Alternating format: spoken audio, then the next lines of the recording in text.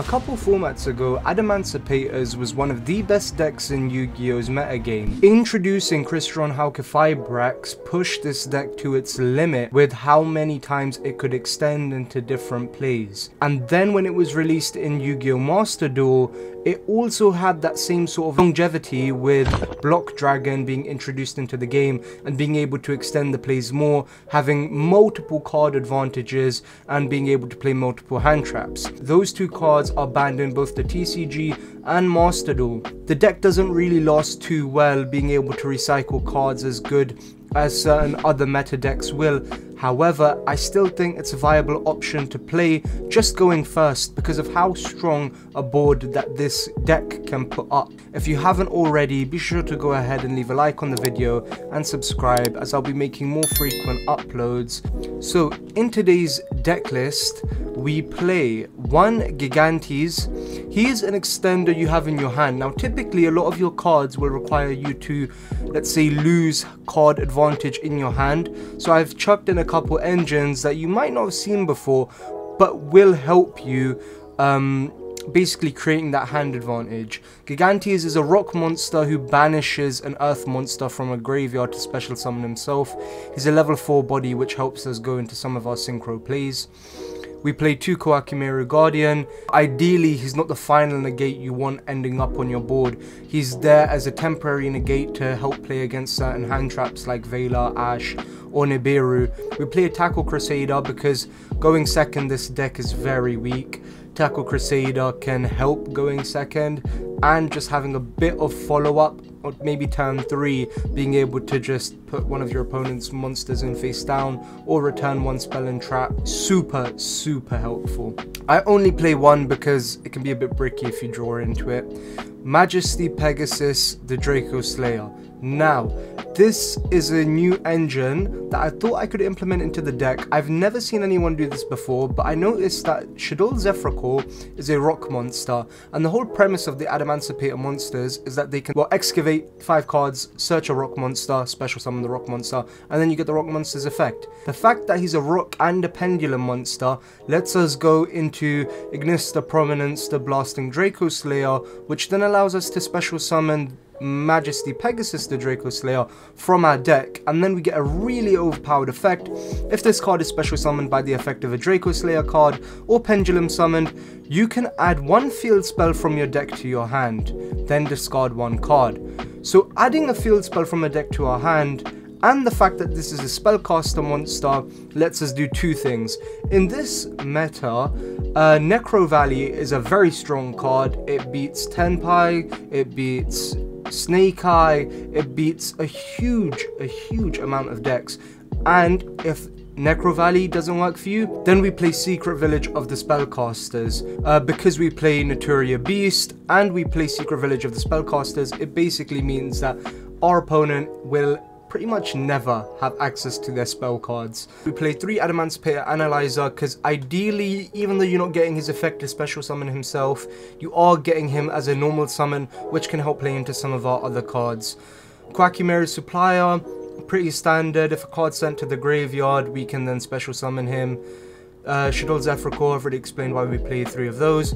One gate blocker, three Gorgonic Gargoyle, huge card. You ideally want to just get this off on your normal summon, so in your starter hand, you don't really want to be special summoning it with your Adamancipators because he's a level 3 Dark Monster, which means you can't go into Naturia Beast because that requires it to be Earth. You could also run a Battery Man package, which I was doing before, but I just figured it's kind of bricky. Ashoka Pillar. Now what this does is it searches us an equipped spell and the equipped spell we're searching in this deck is Cursed Bamboo Sword. We play two Cursed Bamboo Sword because if we draw one, this card goes to the graveyard and lets us trigger an effect to search a Golden Bamboo Sword.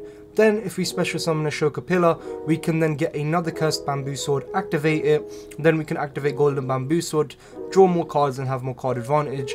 We play 3 Seeker, it's a special summon um, when you control an Adamancipator monster. This card just allows us to get a extra normal summon. If you're playing uh, the Water Rock Adamancipator monster, it can synergize quite well, but I had that in the deck, ran it a couple times, and I figured it bricked more often than not. So removed that. We played three Doki Doki, um, one of the best extenders in this deck, three Adamancipator Researchers, three Adamancipator Signs, Golden Bamboo Sword already explained, Cursed Bamboo Sword already explained. We play one Secret Village of the Spellcasters, already explained. So, extra deck, we have Cheng Ying, uh, pretty standard, Crystal Wing Synchro Dragon. Drag I, I run because going second, his effect can be very useful in order to return our opponent's cards. Ignister Prominence, um, Clear Wing Synchro Dragon, just a generic level 7 Synchro. Uh, Raptite, very useful. You could run uh, Leo, but I decided against it. Naturia Beast, not much needed to be said. We side in a Naturia Barkion if our opponent is playing traps. Herald of the Arclight does come up occasionally, has a very cool first effect. Um, any monster sent from the hand or main deck to the graveyard is banished instead. Uh, but it also serves as an Omni Negate going first if you run up against a Nibiru or something like that. It can also come in pretty handy. Uh, we play an Abyss Dweller because Secret Village of the Spellcasters is often searched and you're able to summon an Abyss Dweller because you play so many level 4s. We can also side in Necro Valley, but because we have access to Abyss Dweller, I tend to go against it. You can play alternative level 4s like maybe a Tornado Dragon or just an, a Negate, but I think Abyss Dweller is probably the best thing for the deck. Gorgonic Guardian, we play one access code Talker, one Apollousa, one Nightmare Unicorn, SP Little Knight, and an IP Masquerena. Uh, you're only really using your Nightmare Unicorn to link climb into access code Talker. You could run a Promethean Princess package as well, but I just find I prefer access code. Side deck is completely up to you. I'd say just make sure you put a Barkion in there, a Necro Valley in there, and then some blowout going second cards. And yeah, Let's see how the deck runs into some test hands. So we've drawn a pretty good hand. Like I said, Adamancipator Analyzer is ideally your first special summon, your first normal summon, sorry, and then we can special summon a Seeker. Uh, we have the Supplier for follow-up when something goes into the graveyard. Is a bit of a dead draw, however we can still use it as discard fodder and things of other nature. So let's go normal summon that, special summon this. Now, you, one thing about playing this deck you need to remember is that because we're special summoning so much, you need to play well into your monster zones. So be very careful when you're special summoning. Make sure you have accounted for how many zones you have. I'm going to use Analyzer's effect first. And we drew, we can special summon Doki Doki. Have a nice extender there activate Seeker, see what else we do. And there you go, we get the Zefracore, a very, very good special summon. Now we can go into our Draco Slayer,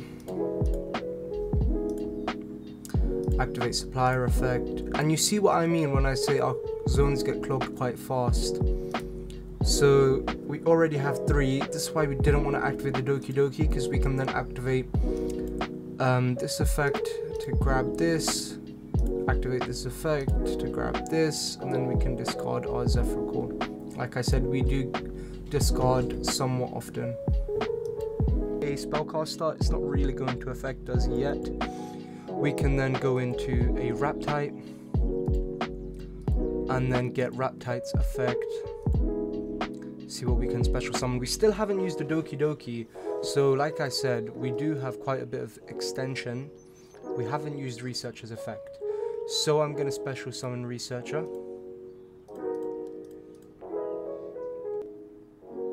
Now what to do here, because we do have a lot of zones cleared up, um, zones clogged up, sorry, we don't really want to get rid of our Majesty Pegasus, the Draco Slayer, because we control a spellcaster and we don't play any spellcasters in the extra deck. You can change this, so instead of a Cheng you can use a Nirvana High Paladin, which would be a decent option, but I just don't see it coming up that often.